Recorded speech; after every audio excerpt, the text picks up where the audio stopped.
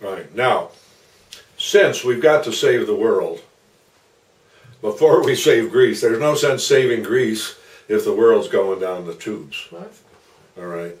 So there's two things Greece has to do. It's got to help Fukushima. It's got to lead the world in stopping the pollution coming out of Fukushima, and nobody's doing anything.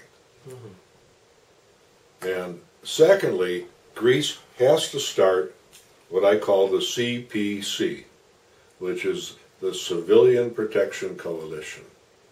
All right? And Greece can lead this. We need one country to take over and do that. So the CPC, the Civilian Protection Coalition, would be run and led by Greece. Greece. It would be a collection or a coalition of countries who want to participate in stopping the slaughter of civilians that's going on all over the planet. It happened in 50 countries last year. And this will be the biggest shame of our century when they look back from the future. As we look back at the 15th century and 16th at the Inquisition, they will look back at the way we let people be slaughtered. Entire civilian populations with no arms being slaughtered by well armed civilians. And it's snowballing, right? In the First World War, civilian casualties were 10 to 15 percent, which was already very high. Right? Then, guess what? In the Second World War, with the aerial bombing and the improved munitions, 35% of the deaths in the Second World War were civilians. All right? And then we get into the modern era, and today 99.5% of the deaths in so called war are unarmed civilians being shot at by well armed military and bombed by well armed airplanes. And nobody's doing anything. The whole world is sitting around saying, oh, well, that's tough. Oh, they're shooting all those people, that's tough. As if there's nothing can be done. But here, the idea of the CPC is right now with what you have on hand. This was Teddy Roosevelt's motto, and I discovered it in a cabin building book, right? How to build a cabin. This was a very important part of the entire grand strategy is this idea. Right now with what you have on hand there's no sense planning we're going to do this we're going to build this. What have we got now? Well right now you've got 200 countries. Every one of them has at least one division of soldiers. So you got 200 divisions around the world doing nothing with their thumbs up their ass. So the cpc says okay if you're interested, throw in one division. Now, here's how it works. Very important, a strategy involved. The, my ancestors, the Vikings, had a very interesting strategy and a secret weapon. The secret weapon was hardtack. It's their dry bread, which they now call Wasa bread. They're still selling it, making money on it, right? But you could put the Wasa bread in casks and carry it on board a boat. So you had food on the boat for months. So they early on developed a very interesting strategy, which Napoleon later adopted, which is the point is not how many soldiers you have, it's how many soldiers are at the point of the battle. If you got 10,000 soldiers over the hill, so what?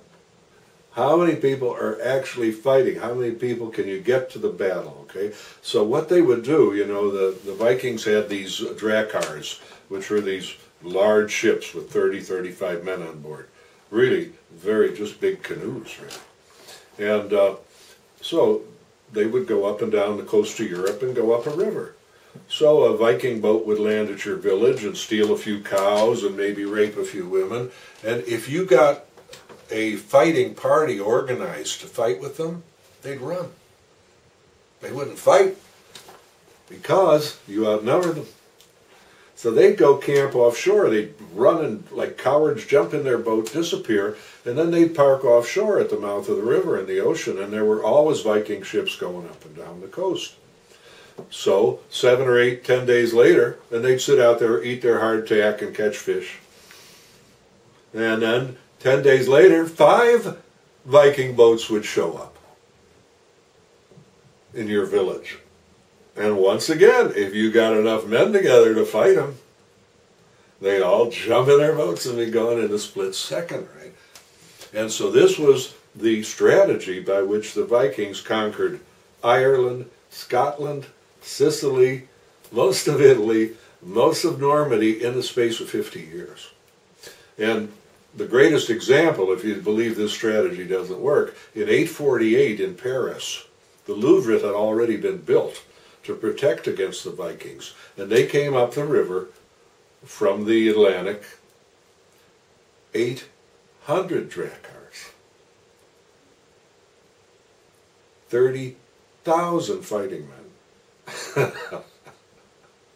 848, they came back in 878 and 888, right? Guess who won?